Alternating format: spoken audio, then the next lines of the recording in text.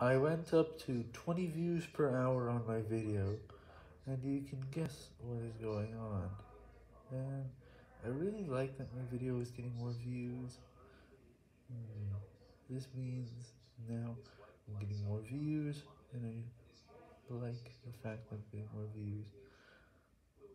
That happened because there were new links left on the video,